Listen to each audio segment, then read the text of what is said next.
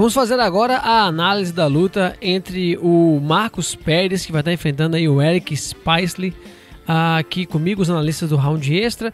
Lembrando, se você for novo por aqui, não esquece de se inscrever no nosso canal e ativar o sininho para receber as notificações.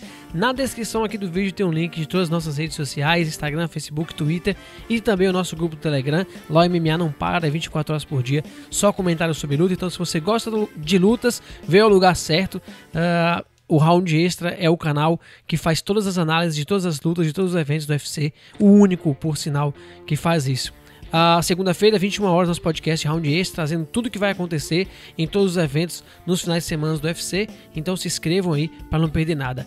Capitão Carisma, o Marcos Maluco aí, uh, tá vindo de derrota para o Wellington Turman. Teve um hype absurdo, né, nele aí na luta contra o Anthony Hernandes. Aí eu acho que empolgou um pouquinho, né? Eu tive essa impressão de empolgada também. A galera falava como se o Wellington Turman fosse ser presa fácil. Na verdade, eu achei que foi justamente o contrário. Eu achei que todas as falhas, a falta de fundamentos, é, as coisas que o Marco Maluco faz na pura empolgação foram expostas na luta contra o Wellington. Que porque o Wellington estava boxeando de uma forma mais técnica, mais centrada guarda alto o tempo todo, trabalhando combinações, quedando, trabalhando a partir da guarda. E eu tive a sensação, beleza, foi uma luta, claro. Teve momentos lá e cai e tudo, mas só que para mim, o Marcos não se achou naquela luta, em momento algum. Ele, ele tava reagindo, mas só que, na minha, na minha opinião, ele tomou atrás basicamente o tempo todo. Eu acho o Marcos um lutador melhor do que ele é, tipo, tecnicamente falando porque ele não tem tantos fundamentos. Você vê que ele troca de base o tempo todo, ele caminha pelo octógono, o que não é correto, assim, de um ponto de vista técnico. E, mas só que ele é rápido, ele tem bom timing, ele tem olho para as brechas e ele faz as coisas funcionar de algum jeito. O chão dele é muito bom. O chão dele é realmente muito decente. Ele é rápido pegando posições, ele ataca com finalizações muito bem, ele ataca com ground and pound, ele não deixa o. É, quando o adversário tenta se levantar, ele aproveita muito essas brechas para conseguir posições melhores, trabalha realmente muito bem por cima. Agora, é raro ele tentar uma queda, ele gosta realmente da luta em pé e a luta em pé dele se baseia mais na empolgação, é, nos chutes que ele dá na base de canhoto, que são bons, no uppercuts diretos com as duas bases. Ele é um cara que joga mais na base de canhoto, mas ele troca bastante. Ele deveria se manter mais na base de canhoto, honestamente porque de resto não, não funciona assim tanto para ele. E ele tem um problema para mim defensivo, que basicamente tudo que o oponente faz, ele se encurrala na grade. Para essa luta, ele deveria realmente treinar para isso não acontecer, porque ele vai pegar um cara que vai querer fazer jogo de grappling, pelo menos na, no meu ponto de vista. Ele deveria. Mas eu acho o Marcos Maluco um cara que troca melhor do que deveria trocar para alguém que tem as falhas técnicas que ele tem, que trabalha com a guarda baixa, que que se encurrala o tempo todo, que não tem boa movimentação defensiva, mas igual eu falei, muito rápido, muito potente, boa escolha de golpes, trocando de base o, o tempo todo. Então, é, ele é meio incógnita, assim, a respeito de qual que é o real nível do talento dele. Porque eu acho que se ele adquirisse alguns fundamentos mais corretos no, de trocação, de boxe e kickboxing, ele poderia ir bem longe. É, do outro lado aí, a gente tem o Eric Spicely, uh, tá vindo de derrota para o Darren Wynn. O que, que você vê para essa luta, Barbie? Ele era do UFC, aí Tava vindo meio mal, três derrotas consecutivas, foi demitido. Aí ficou duas lutas fora, aí, fora e voltando agora pro UFC já com derrota. O que, que você espera dele para essa luta? O que, que você vê e o que, que ele vai trazer de armas aí para enfrentar o Marcos Maluco? Vejam bem, uma coisa que precisa ficar bem clara aqui: existem coisas incompreensíveis nos esportes de luta. Uma dessas coisas é como que o Bob Sapp venceu maior, um dos maiores kickboxers da história, o Ernesto Rush, duas vezes. A outra é o Eric Spice ele ter passado um caminhão em cima do Thiago Marreta. O Eric Spice ele está, tinha sido finalizado pelo Sam Alvey, Sam Alvey e passou o caminhão em cima do Thiago Marreta. Então assim, o Eric Spice ele é um cara bom de chão, talentoso mesmo.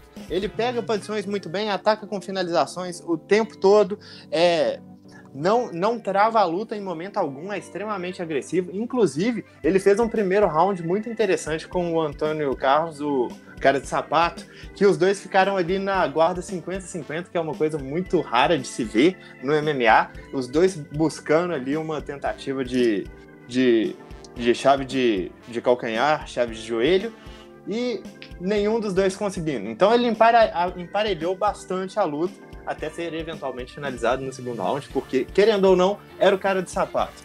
E na trocação, o Eric Spice ele se vale basicamente de jabs só, e ele também tem uma, um bom recuo e um contragolpe com a mão direita, mas ele não troca bem. O jab dele, inclusive, é extremamente contragolpeável. A luta dele contra o Darren Wayne, apesar dele ter pegado de última hora, ficou extremamente notório o tanto que era fácil pegar o timing desse jab. O Darren Wayne estava batendo por cima, por baixo desse jab o tempo todo.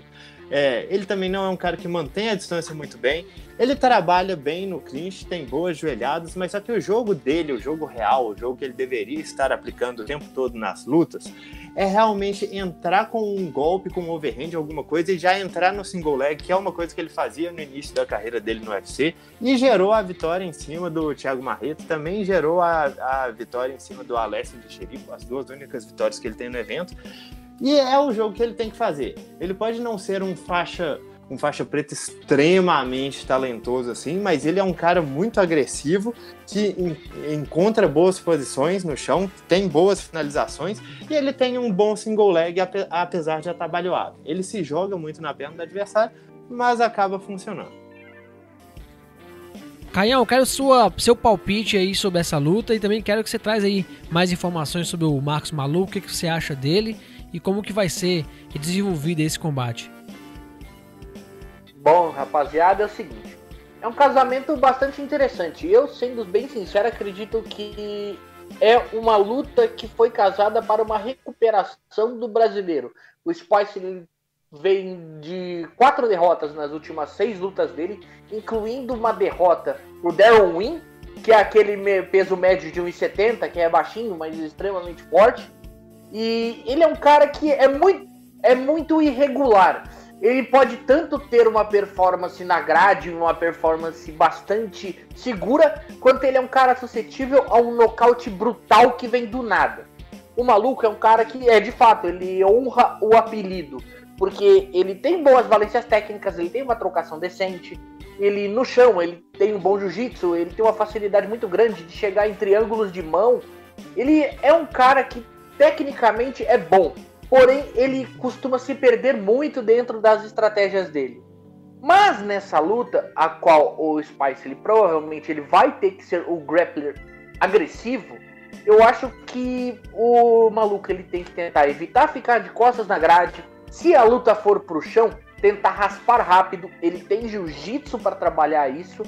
Ele por cima é um cara que bastante ativo, ele faz um joelho na barriga bom, ele se movimenta, ele faz transições muito boas, ele tem uma mão, ele bate bem, ele é um cara que não, não é one punch KO, mas ele é um cara que bate relativamente forte. Eu acho que é uma luta bastante bastante complicada de você colocar favoritismo, porque o maluco tem valências técnicas para fazer com que seja um combate relativamente tranquilo, porque o Spice ele vem de uma sequência ruim, é um cara que fisicamente já não apresenta mais uma pujança tão grande, porém a falta de consistência do brasileiro em contexto de seguir estratégias ou trabalhar de uma maneira a levar a luta para o campo ao qual ele consiga ter mais tranquilidade, pode ser uma chave para que o Spice ele capitalize nessa luta. O jogo pro americano é levar pra grade, tentar cansar os braços do brasileiro, porque assim ele anula qualquer possibilidade de um nocaute na trocação.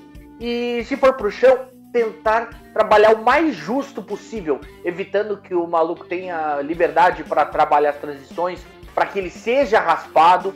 Eu acho que é uma luta de, com pouco favoritismo pro maluco, apesar de ser difícil você colocar uma, um favoritismo nessa luta. Mas eu vou de Marcos Maluco, sem pachequismo. Concorda com Caio e Babi? Como é que você vê que vai ser desenvolvida essa luta? e o seu palpite? Eu acho que a tendência do Eric Spice ele, em trocar, que ele por algum motivo desenvolveu recentemente, vai custar muito caro para ele, porque como eu falei, eu acho que ele tem o jab mais contragolpeável que eu vi nos últimos tempos, e o Marcos Maluco é um cara de não perder essas oportunidades. Pro Eric Spice, ele, eu acho que o jogo é realmente que entrar numa queda e o Marcos Maluco se joga na grade com muita facilidade, então, entrar na queda e já colocar ele na grade, fazer ele cansar os braços, ele não tem um gasto muito bom, né? Porque ele joga golpes muito à torta e à direita, muito no entusiasmo, então os fundamentos dele acabam pecando muito nessa, nessa área de, da conservação, de, de conservação de energia. Oh, meu Deus! É, então eu acho que realmente é o jogo pro Eric Spice ele de fazer isso. Já seria o jogo de qualquer forma, só que contra um oponente que se cansa e se encurrala na grade, se torna ainda mais crucial que ele consiga essa encurralada e essa redução na distância. Porque se ele ficar trocando na distância, ele tem pouquíssimas armas contra o maior poder, a maior variedade e precisão e velocidade que tem o Marcos Maluco. Então, eu vou dar um favoritismo pequeno aí pro Marcos Maluco, porque, querendo ou não, a diferença de luta em pé, para mim, é realmente muito grande. E eu acho que no chão, o Marcos Maluco tem capacidade de segurar a onda ali. Eu acho que ele tem muita qualidade. Para mim, o, pi o pior dos casos é ele cansar no primeiro round rápido demais e acabar sendo dominado nos outros dois mas eu aposto nele porque eu acho que ele tem mais poder, eu acho que ele tem mais velocidade, eu acho que ele é melhor em pé, eu acho que ele é naturalmente melhor em pé, sabe achar melhor as oportunidades, vai saber contra-golpear o jab do, do Eric Spicely e tudo que ele tem que fazer mesmo é evitar a grade, não ser quedado e tentar não se cansar por pelo menos dois rounds aí, porque é, a, a, capacidade de finalização do Eric Spice ele também cai bastante com o correr dos rounds. Ele também não é um cara de muito bom gás, apesar de eu achar que ele tem vantagem nesse quesito nessa luta. Então a minha aposta vai no Marcos Maluco. Acho que não por tanto quanto eu deixei parecer aqui, porque eu realmente acredito que em relação a fundamento, que é uma coisa que eu sempre ressalto também, o, o Eric Spice ele mantém o queixo mais baixo, ele trabalha um jogo mais metódico e quando ele leva a luta para o chão que ele consegue ser bem agressivo e soltar o jogo. Então é, a longuíssimo prazo, assim, a tendência é que os fundamentos do Eric Spicer acabem funcionando mais. Só que eu acho que o Marcos Maluco tem o que é preciso para definir essa luta cedo, ou pelo menos criar uma vantagem grande bastante para poder simplesmente segurar depois. É isso aí, pessoal. Tá aqui a nossa análise. Se você concorda aqui com os especialistas, deixe um comentário. Se discorda também. Não se esqueçam, pessoal, de se inscrever no nosso canal e ativar o sininho para receber as notificações. E deixe o seu like aí se você gostou do vídeo. Esse like é importantíssimo para nós, para que esse vídeo alcance o maior número de pessoas possível. Lembrando, pessoal, segunda-feira, 21 horas, aqui no nosso canal do YouTube, temos nosso podcast Round Extra. A gente faz um, um resumo de tudo o que acontece aí nos eventos do UFC. E se você gosta das mídias de podcast, na descrição também tem um link de todas as nossas mídias de streaming de podcast, tem no Spotify todas. Então vá lá e segue a gente por lá e acompanhe toda a programação aqui do canal Round Extra. Canal este que é o único que faz análise de todas as lutas de todos os eventos do UFC.